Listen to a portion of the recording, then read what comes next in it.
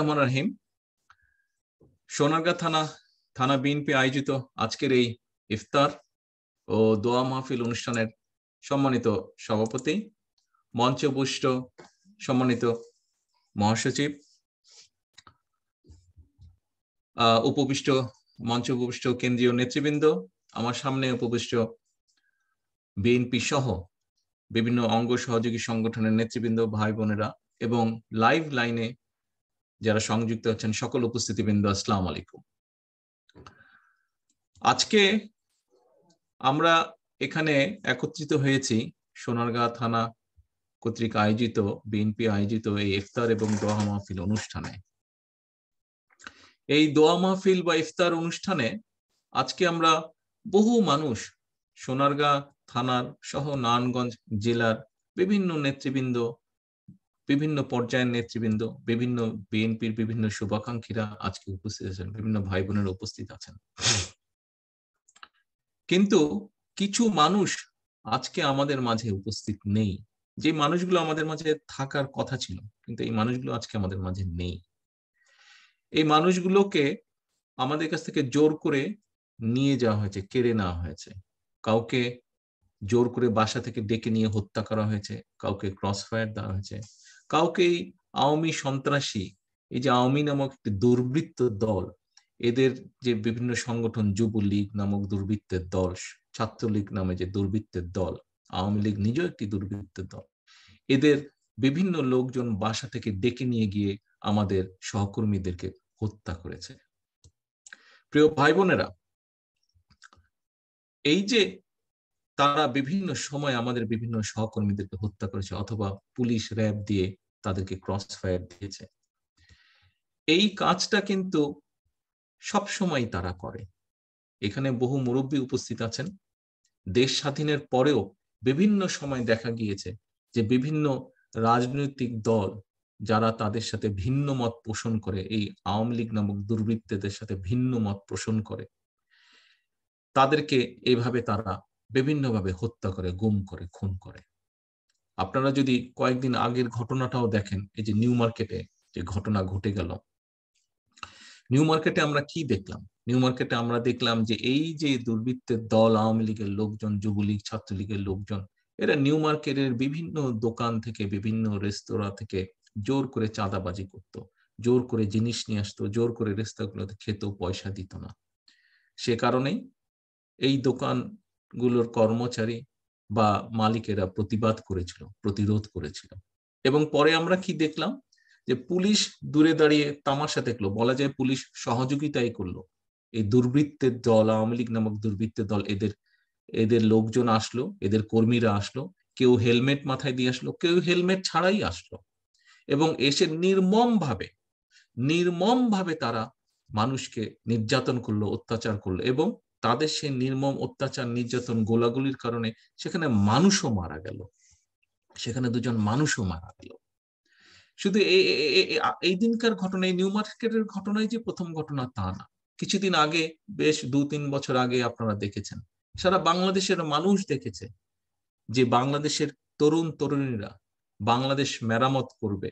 এই উপলক্ষে তারা একটি আন্দোলন করেছিল। বাংলাদেশের বিভিন্ন অনাচার, অবিচার, অত্যাচারের বিরুদ্ধে তারা প্রতিরোধ করেছিল। তারা রাস্তায় বেরিয়ে এসেছিল। বেরিয়ে এসেছিল। তারা বলেছিল তারা বাংলাদেশ মেরামত করবে। ভালো উদ্যোগ ছিল তাদের। কিন্তু পরবর্তীকালে আমরা কি দেখলাম? কীভাবে এই আন্দোলনকে, কীভাবে অত্যাচার নির্যাতন মাধ্যমে এই নিশিরাতের, এই অবৈধ মাফিয়া সরকার, ভোট ডাকাত সরকার, কীভাবে সেই আন্দোলনকে তারা, এই অত্যাচার নির্যাতন মাধ্যমে আন্দোলনকে তারা দমিয়ে দেওয়ার চেষ্টা করল। কীভাবে বিভিন্ন জায়গায় আমরা সোশ্যাল মিডিয়া ফেসবুকের মাধ্যমে দেখলাম কীভাবে এই আন্দোলনে যারা নেতৃত্ব ছিল, বিভিন্ন জায়গায় যারা তরুণ, তরুণী নেতা, নেত্রী ছিল, তাদেরকে ঘর থেকে ডেকে নিয়ে গেল। অনেককে খুঁজে পাওয়া যায় না, অনেককে, অনেকে আবার জেলখানেও আজকে আছে। প্রিয় ভাই বোনেরা, এই হচ্ছে এদের রাজনীতি। এই হচ্ছে এদের রাজনীতি। মানুষের উপর অত্যাচার, নির্যাতন করাই হচ্ছে এদের প্রধান রাজনীতির হাতিয়ার। আজকে আপনারা এই যে আমার সামনে যারা আপনারা বসে আছেন, আপনার আমার সামনে যারা আজকে আপনারা ভাই বোন, বিএনপির বিভিন্ন পর্যায়ের নেতাকর্মী, সেটা যুব দল হোক, ছাত্র দল হোক, স্বেচ্ছাসেবক হোক, মহিলা দল হোক, বিএনপি হোক, আপনাদের সকলের নামে, এমনকি মঞ্চে যে সকল নেতৃবৃন্দ বসে আছেন, মহাসচিব থেকে আরম্ভ করে যে সকল নেতৃবৃন্দ আপনারা বসে আছেন, এখানে আপনাদের সামনে বসেছেন প্রত্যেকের নামে আজকে মিথ্যে মামলা, প্রত্যেকের নামে আজকে মিথ্যে মামলা, সমগ্র বাংলাদেশে লক্ষ লক্ষ বিএনপির নেতাকর্মীর নামে আজকে মিথ্যে মামলা, গায়েবী মামলা দিয়ে রেখেছে। এখানে আপনারা যারা উপস্থিত ছিলেন, বিনা কারণে, মিথ্যে মামলার কারণে, গায়েবী মামলার কারণে, বিনা কারণে আপনাদেরকে সপ্তাহের পর সপ্তাহ, দিনের পর দিন, মাসের পর মাস, বছরের পর বছর আদালতের বারান্দায় পায়চারি করতে হয় আপনাদেরকে। এই যে লক্ষ লক্ষ মানুষের নামে যে গায়েবী মামলা, মিথ্যে মামলা, কেন?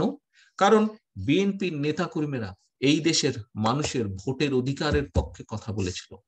বিএনপি বিএনপি নেতাকর্মীরা এই দেশের মানুষের ভোটের অধিকারকে প্রতিষ্ঠিত করতে চায়। বিএনপি বিএনপির নেতাকর্মীরা এই দেশের মানুষের বাক স্বাধীনতার প্রতিষ্ঠা করতে চায়। এই দেশে বিএনপি বিএনপির নেতাকর্মীরা এই দেশে গণতন্ত্র প্রতিষ্ঠিত করতে চায় এবং আজকের যে মাফিয়া সরকার, আজকের যে ভোট ডাকাত সরকার এরা জানে যে যদি বিএনপি সক্ষম হয় গণতন্ত্র প্রতিষ্ঠিত করতে, যদি দেশের মানুষের ভোটের অধিকার প্রতিষ্ঠিত হয়, যদি মানুষের বাক স্বাধীনতা আজকে প্রতিষ্ঠিত হয়, তাহলে আর যাই হোক তাদের রাজনীতি থাকবে না।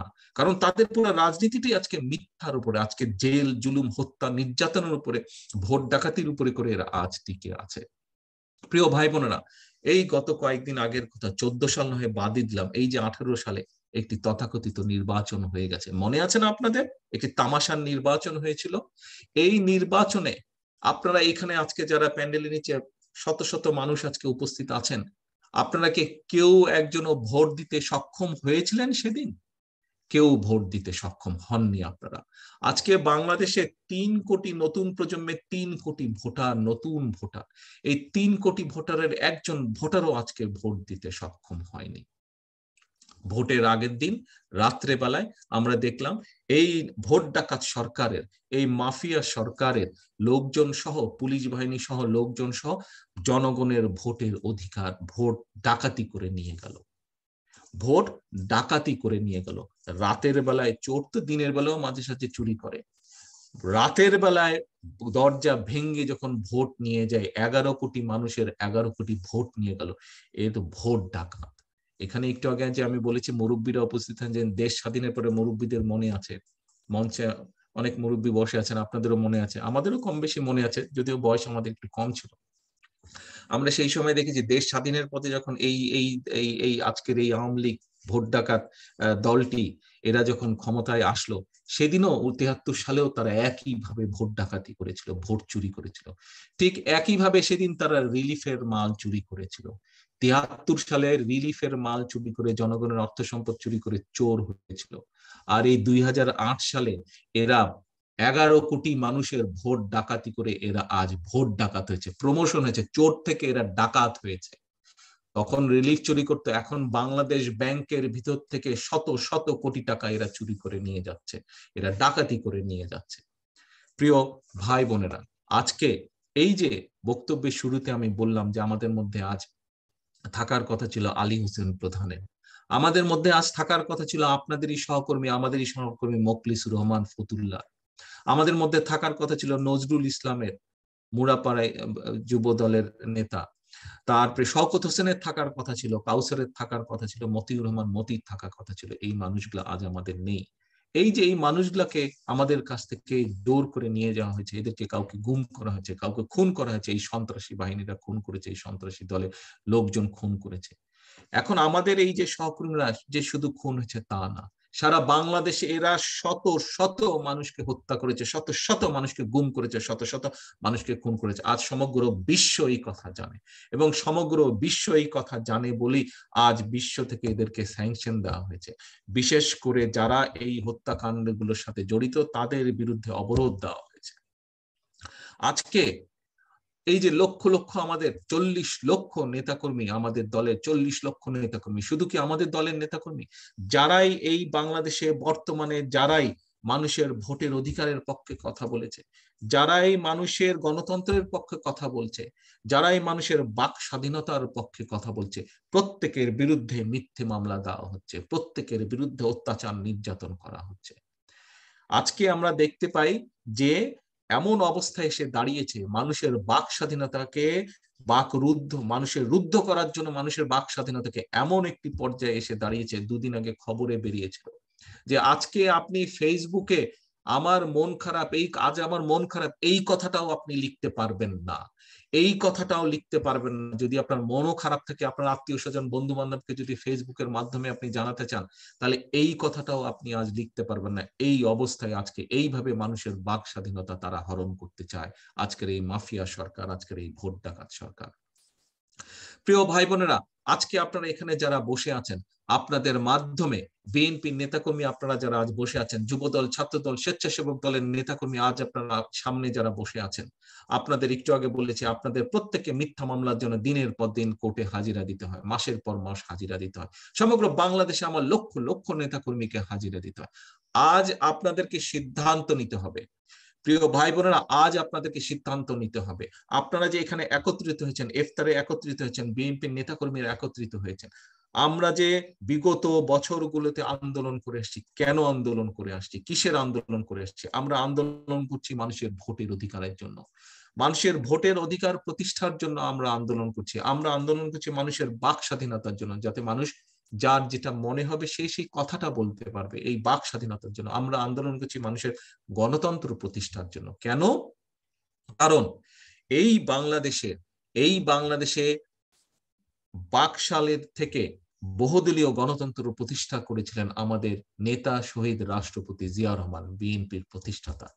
এই বাংলাদেশে স্বৈরাচার থেকে নব্বইয়ে আন্দোলনের নেতৃত্ব দিয়ে এই দেশে গণতন্ত্রের সূচনা করেছিলেন আমাদের নেত্রী, দেশনেত্রী বেগম খালেদা জিয়া। আপনারা আজ তাদের সৈনিক। আপনারা আজ তাদের দল, সেই দলের নেতাকর্মী, সেই দলের সৈনিক। কাজেই আজ আপনাদের দিকে সমগ্র বাংলাদেশ তাকিয়ে আছে। এই যে মানুষের ভোট রাত্রেবেলায় ডাকাতি করে নিয়েছে। সারা বাংলাদেশের মানুষ আজ আপনাদের দিকে তাকিয়ে আছে যে আপনারা মানুষের সেই ভোটের অধিকারকে ফিরিয়ে আনবেন। সারা দেশের মানুষ আজ তাকিয়ে আছে। কিছু কথা বললেই সরকারের বিরুদ্ধে কোনো কথা বললেই সাথে সাথে এসে কেস কাচারি করে ধরে নিয়ে যায়। মানুষ তার বাক স্বাধীনতা ফিরে পেতে চায়। আজ বাংলাদেশের মানুষ বিএনপির প্রত্যেকটি নেতাকর্মীর দিকে তাকিয়ে আছে যে আপনারা তাদের বাক স্বাধীনতা ফিরিয়ে দিবেন। আজ যেই গণতন্ত্রকে বন্দি করে রাখা হয়েছে।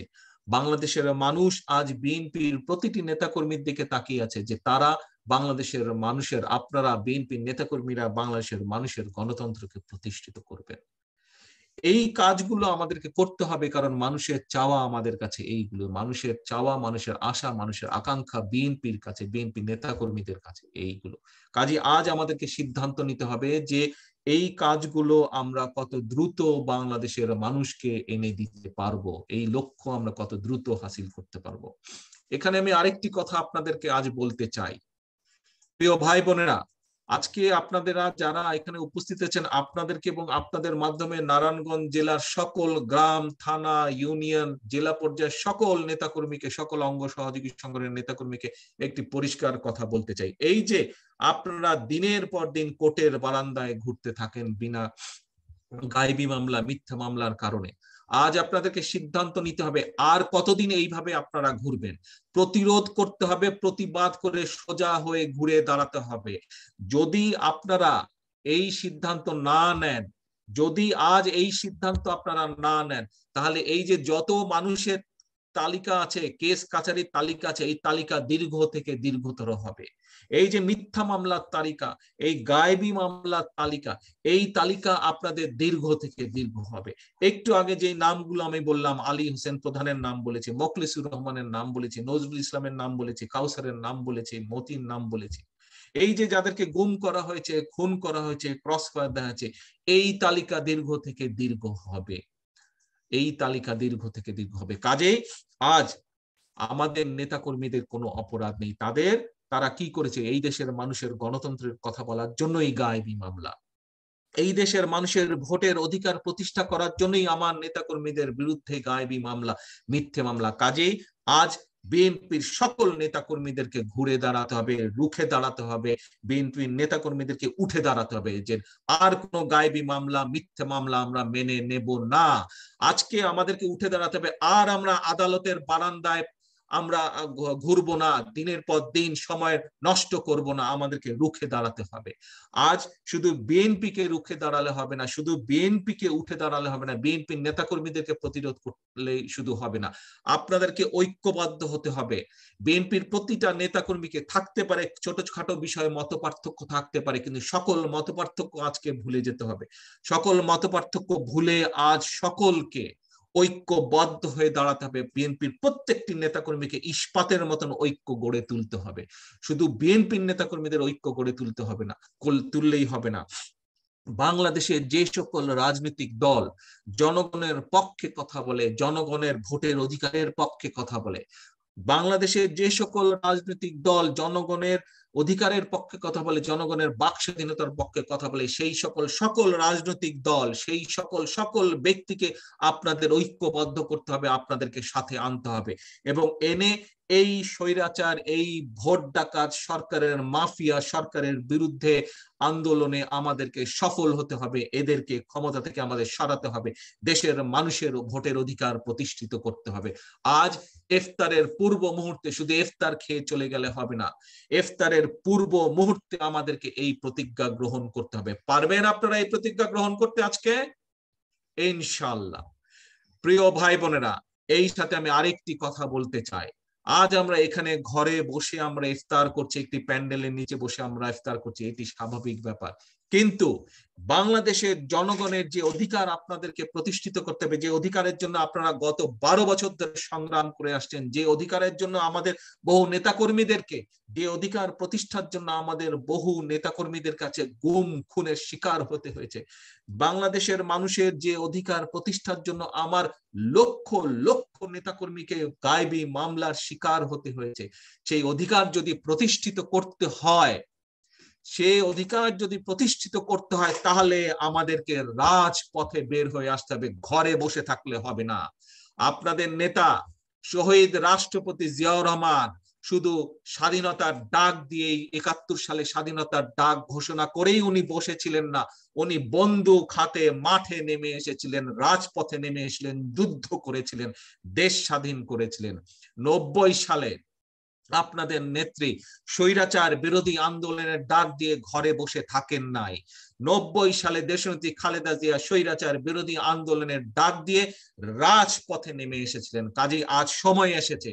যদি বাংলাদেশের মানুষের অধিকারকে প্রতিষ্ঠিত করতে হয়, আপনাদেরকে যদি মিথ্যা মামলার বেড়াজাল থেকে, গায়েবী মামলার বেড়াজাল থেকে বেরিয়ে আসতে হয়, আমাদের যে সকল সহকর্মীকে আমরা হারিয়েছি, তাদের এই তাদের এই জীবনদানকে যদি জীবনদানকে যদি মূল্য দিতে হয়, তাহলে আজ অবশ্যই আমাদেরকে রাজপথে বেরিয়ে আসতে হবে। রাজপথে বেরিয়ে এসে আমাদেরকে জনগণকে সাথে নিয়ে সিদ্ধান্ত নিতে হবে এবং আন্দোলনকে সফল হতে হবে।